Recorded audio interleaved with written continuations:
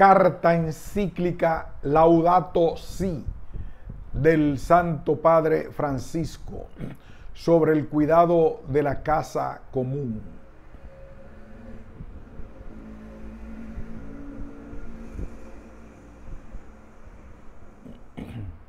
Laudato si, mi Señor. Alabado seas, mi Señor. Cantaba San Francisco de Asís. En ese hermoso cántico nos recordaba que nuestra casa común es también como una hermana con la cual compartimos la existencia y como una madre bella que nos acoge entre sus brazos. Alabado seas, mi Señor, por la hermana, nuestra Madre Tierra, la cual nos sustenta y gobierna y produce diversos frutos con coloridas flores y hierbas.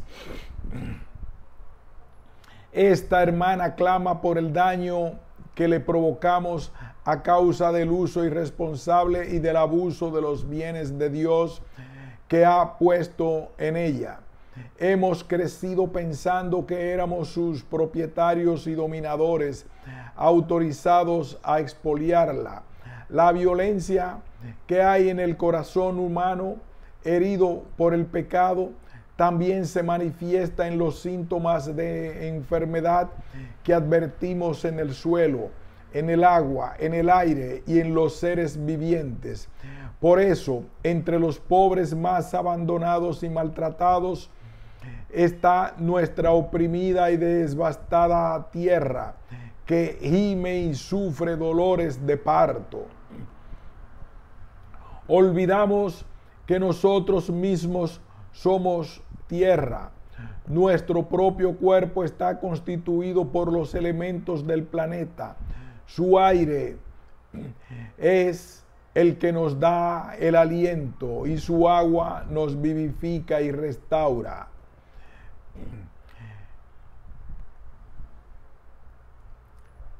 Nada de este mundo nos resulta indiferente.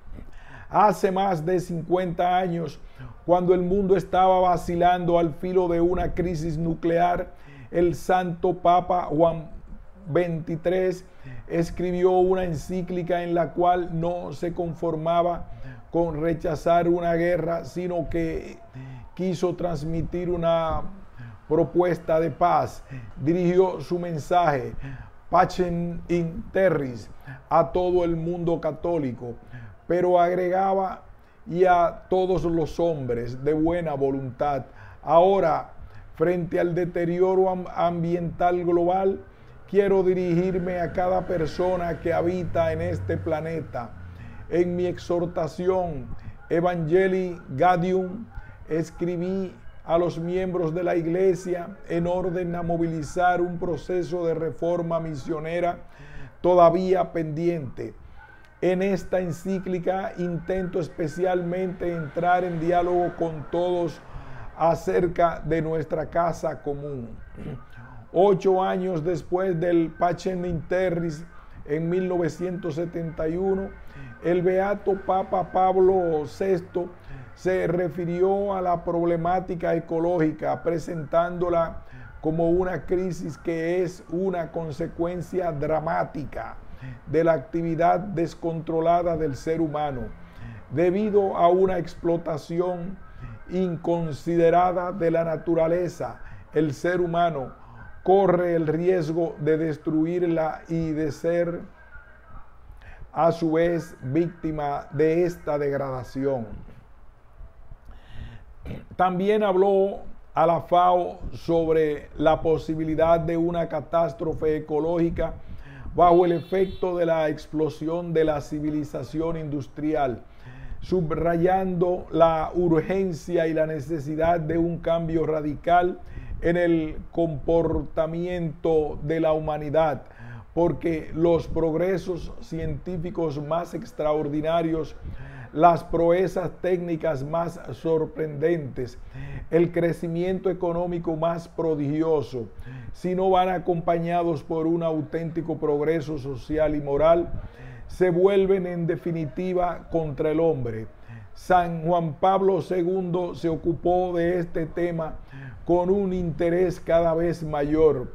En su primera encíclica advirtió que el ser humano parece no percibir otros significados de su ambiente natural, sino solamente aquellos que sirven a los fines de un uso inmediato y consumo. Sucesivamente llamó a una conversión ecológica global, pero al mismo tiempo hizo notar que se pone poco empeño para salvaguardar las condiciones morales de una auténtica ecología humana. La destrucción del ambiente humano es algo muy serio porque Dios no solo le encomendó el mundo al ser humano, sino que su propia vida es un don que debe ser protegido de diversas formas de degradación. Toda pretensión de cuidar y mejorar el mundo supone cambios profundos en los estilos de vida, los modelos de producción y de consumo, las estructuras consolidadas de poder que rigen hoy la sociedad. El auténtico desarrollo humano posee un carácter moral y supone el pleno respeto a la persona humana, pero también debe prestar atención al mundo natural y tener en cuenta la naturaleza de cada ser y su mutua conexión en un sistema ordenado. Por lo tanto, la capacidad de transformar la realidad que tiene el ser humano debe desarrollarse sobre la base de la donación originaria de las cosas por parte de Dios. Mi predecesor Benedicto XVI renovó la invitación a eliminar las causas estructurales de las disfunciones de la economía mundial y corregir los modelos de crecimiento que parecen incapaces de garantizar el respeto del medio ambiente. Recordó que el mundo no puede ser analizado solo aislando uno de sus aspectos, porque el libro de la naturaleza es uno e indivisible, e incluye el ambiente, la vida, la sexualidad, la familia, las relaciones sociales, etc.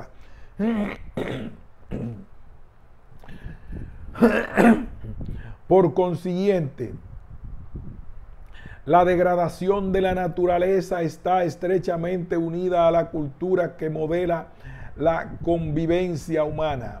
El Papa Benedicto nos propuso reconocer que el ambiente natural está lleno de heridas producidas por nuestro comportamiento irresponsable también el ambiente social tiene sus heridas, pero todas ellas se deben en el fondo al mismo mal, es decir, a la idea de que no existen verdades indiscutibles que guíen nuestras vidas, por lo cual la libertad humana no tiene límites. Se olvida que el hombre no es solamente una libertad que él se crea por sí solo, el hombre no se crea a sí mismo. El espíritu y voluntad, pero también es espíritu y voluntad, pero también naturaleza. Con paternal preocupación nos invitó a tomar conciencia de que la creación se ve perjudicada donde nosotros mismos somos las últimas instancias donde el conjunto es simplemente una propiedad nuestra y el consumo es solo para nosotros mismos. El derroche de la creación comienza donde no reconocemos ya ninguna instancia por encima de nosotros, sino que somos solo lo que solo nos vemos a nosotros mismos, unidos por una misma preocupación. Estos aportes de los papas recogen la reflexión de innumerables científicos, filósofos, teólogos y organizaciones sociales que enriquecieron el pensamiento de la iglesia sobre esas cuestiones, pero no podemos ignorar que también fuera de la iglesia católica, otras iglesias y comunidades cristianas, como también otras religiones, han desarrollado una amplia preocupación y una valiosa reflexión sobre estos temas que nos preocupan a todos. Para poner solo un ejemplo destacable, quiero recoger brevemente parte del aporte del querido patriarca ecuménico Bartolomé, con el que compartimos la esperanza de la comunión eclesial plena. El patriarca Bartolomé se ha referido particularmente a la necesidad de que cada uno se arrepienta de sus propias maneras de dañar el planeta, porque en la medida en que todos generamos pequeños daños ecológicos, estamos llamados a reconocer nuestra contribución, pequeña o grande, a la desfiguración y destrucción de la creación. Sobre este punto, él se ha expresado repetidamente de una manera firme y estimulante, invitándonos a reconocer los pecados contra la creación, que los seres humanos destruyan la diversidad biológica en la creación divina, que los seres humanos degraden la integridad de la tierra y contribuyan al cambio climático, desnudando la tierra de sus bosques naturales y destruyendo sus zonas húmedas, que los seres humanos contaminen las aguas, el suelo, el aire. Todos estos son pecados porque un crimen contra la naturaleza es un crimen contra nosotros mismos y un pecado contra Dios. Al mismo tiempo, Bartolomé llamó la atención sobre las raíces éticas y espirituales de los problemas ambientales que nos invitan a encontrar soluciones no solo en la técnica, sino en un cambio del ser humano, porque de otro modo afrontaríamos solo los síntomas. Nos propuso pasar del consumo al sacrificio, de la avidez a la generosidad, del desperdicio a la capacidad de compartir, en una ascesis que significa aprender a dar y no simplemente renunciar. Es un modo de amar, de pasar poco a poco lo que yo quiero a lo que necesita el mundo de Dios. Es liberación del miedo, de la avidez, de la dependencia. Los cristianos Además, estamos llamados a aceptar el mundo como sacramento de comunión, como modo de compartir con Dios y con el prójimo en la escala global. Es nuestra humilde convicción de lo divino y lo humano se encuentran en el más pequeño detalle contenido en los vestidos sin costuras de la creación de Dios hasta en el último grano de polvo de nuestro planeta. San Francisco de Asís. No quiero desarrollar esta encíclica sin acudir a un modelo bello que puede motivarnos. Tomé su nombre como guía y como inspiración en el momento de mi elección como obispo de Roma. Creo que Francisco es el ejemplo por excelencia del cuidado de lo que es débil y de una ecología integral vivida con alegría y autenticidad. Es el santo patrono de todos los que estudian y trabajan en torno a la ecología, amado también por muchos que no son cristianos él manifestó una atención particular hacia la creación de Dios y hacia los más pobres y abandonados. Amaba y era amado por su alegría, su entrega generosa, su corazón universal. Era un místico y un peregrino que vivía con simplicidad y en una maravillosa armonía con Dios, con los otros, con la naturaleza y consigo mismo. En él se advierte hasta qué punto son inseparables las preocupa, la preocupación por la naturaleza, la justicia con los pobres, el compromiso con la sociedad y la paz interior. Su testimonio nos muestra también que una ecología integral requiere apertura hacia categorías que trascienden el, lenguaje de las matemáticas o de la biología y nos conectan con la esencia de lo humano. Así como sucede cuando nos enamoramos de una persona, cada vez que él mira el sol, la luna o los más pequeños animales, su reacción era cantar. Él entraba en comunicación con todo lo creado y hasta predicaba a las flores, invitándolas a alabar el Señor como si gozaran del don de la razón. Su creación, su reacción era mucho más que una valoración intelectual o un cálculo económico, porque para él cualquier criatura era una hermana unida a él con lazos, lazos de cariño. Por eso, no se, por eso se sentía llamado a cuidar todo lo que existe. Su discípulo San Buenaventura decía que él, que su discípulo San Buenaventura decía de él que lleno de la mayor ternura al considerar el origen común de todas las cosas, daba a todas las criaturas por más despreciables que parecieran, el dulce nombre de hermanas. Esta convicción no puede ser despreciada como un romanticismo irracional, porque tiene consecuencias en las opciones que determinan nuestro comportamiento.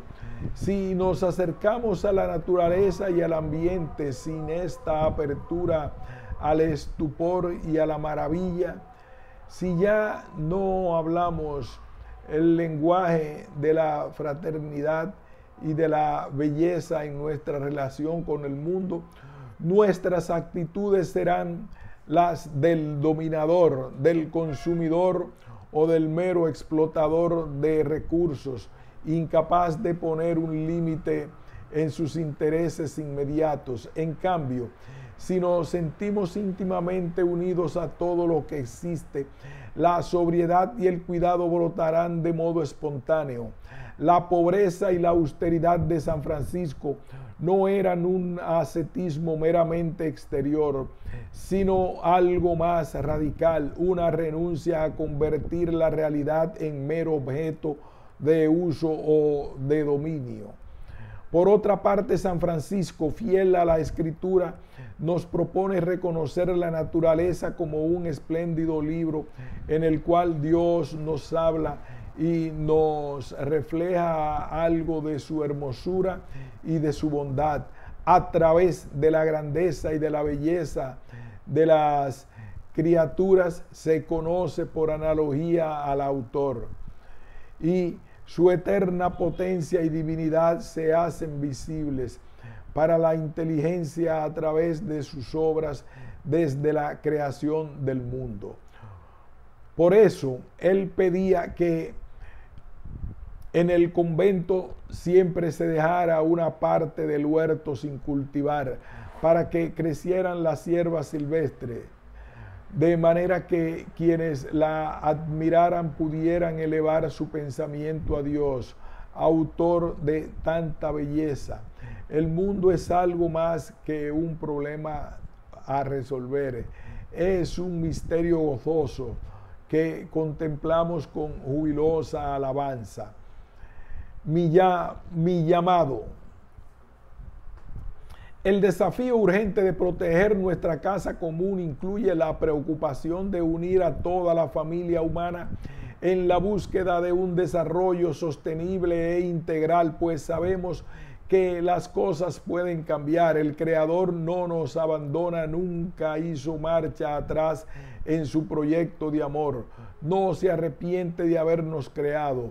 La humanidad aún posee la capacidad de colaborar para construir nuestra casa común.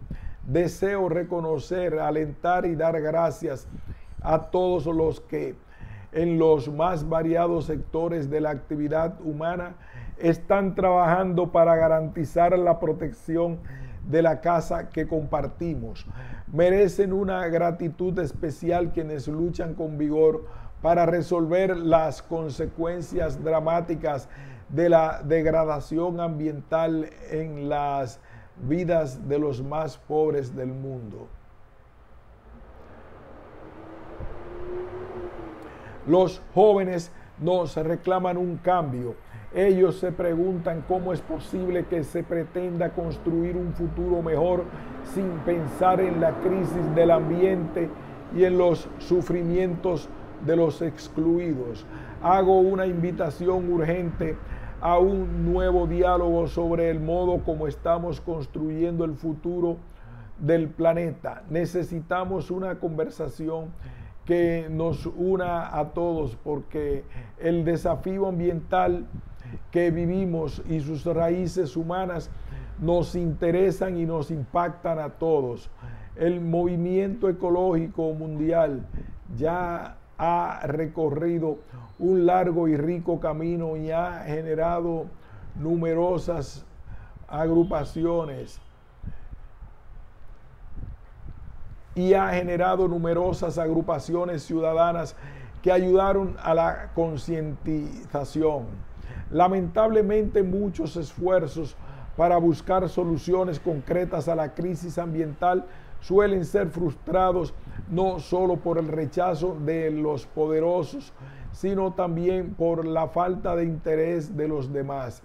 Las actitudes que obstruyen los caminos de solución, aún entre los creyentes, van de la, de, de la van de la negación del problema a la indiferencia, la resignación cómoda o la confianza ciega en las soluciones técnicas. Necesitamos una solidaridad universal nueva, como dijeron los obispos de Sudáfrica.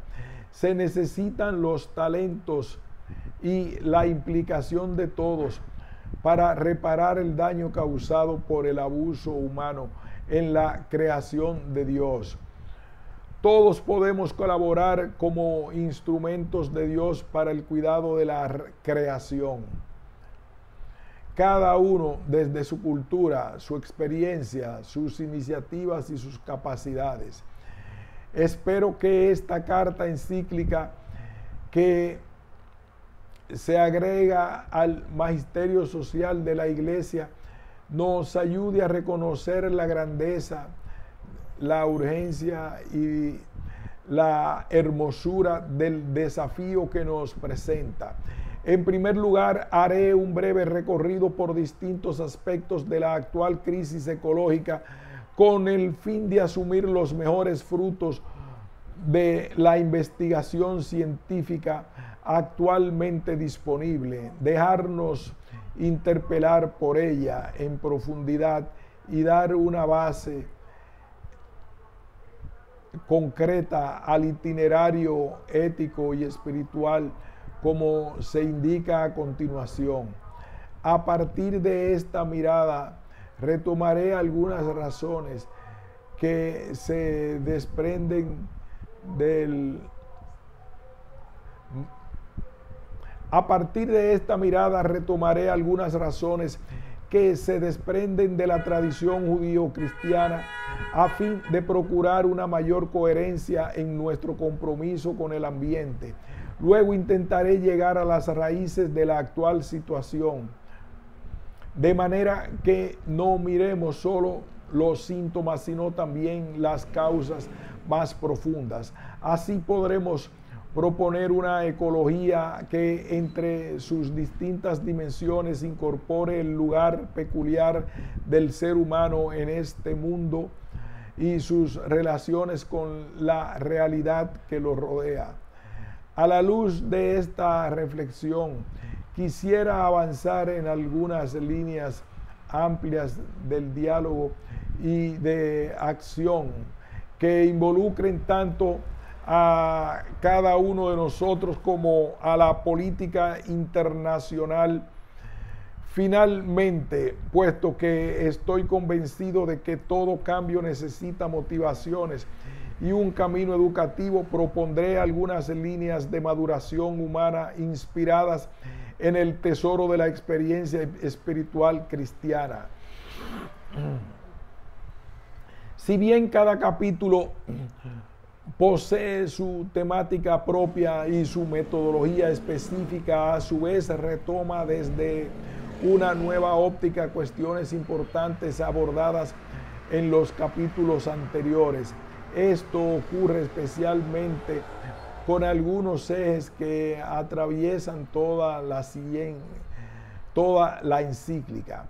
Por ejemplo, la íntima relación entre los pobres y la fragilidad del planeta, la convicción de que en el mundo todo está conectado, la crítica al nuevo paradigma y a las formas de poder que derivan de la tecnología, la invitación a buscar otros modos de entender la economía y el progreso, el valor propio de cada criatura, el sentido humano de la ecología, la necesidad de debates sinceros y honestos, la grave responsabilidad de la política internacional y cual, y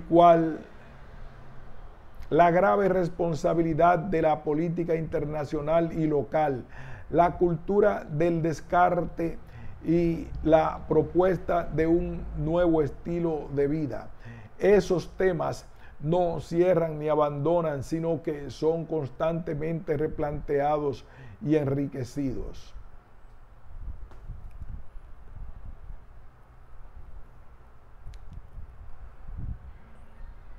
Capítulo primero. Lo que le está pasando a nuestra casa.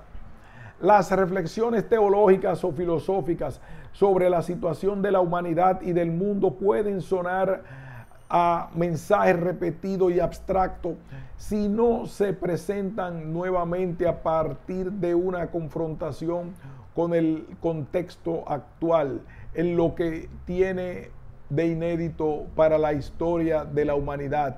Por eso, antes de reconocer cómo la fe aporta nuevas motivaciones y exigencias frente al mundo del cual formamos parte, propongo detenernos brevemente a considerar lo que le está pasando a nuestra casa común, a la continua aceleración de los cambios de la humanidad y del planeta.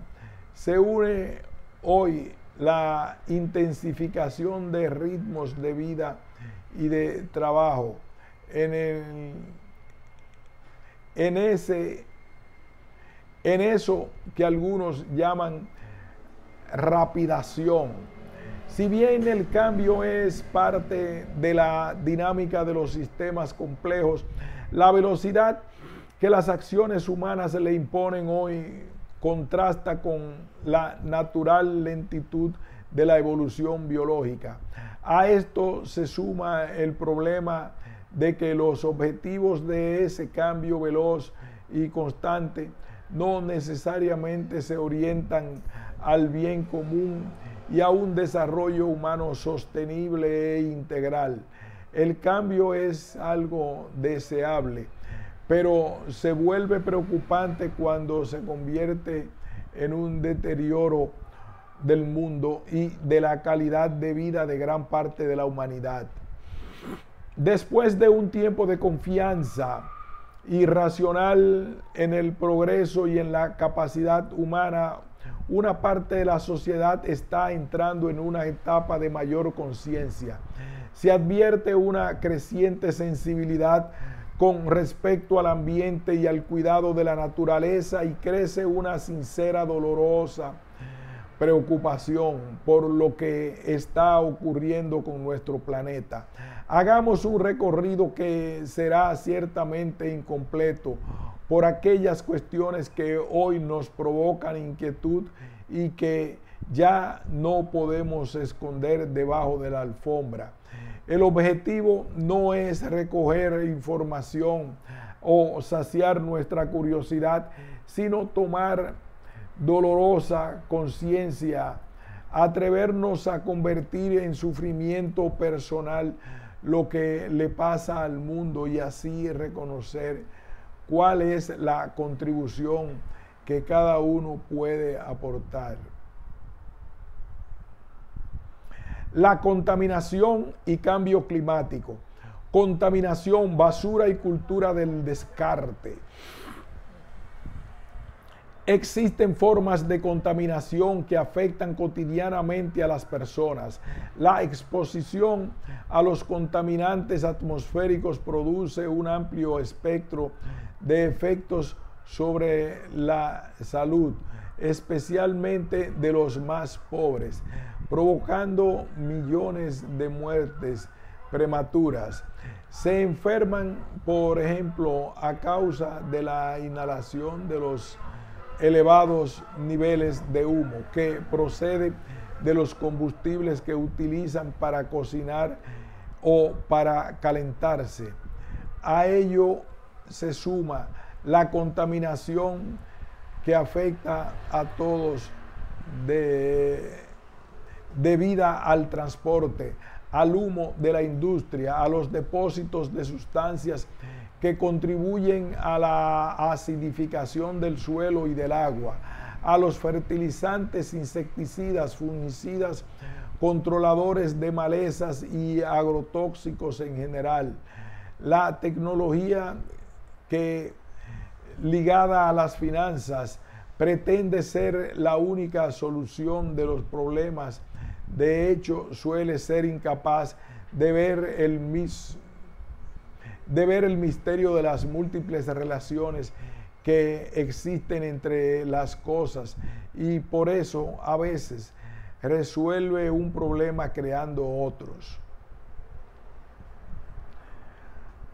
Continuaremos a partir del apartado 21. Aquí hacemos una pausa.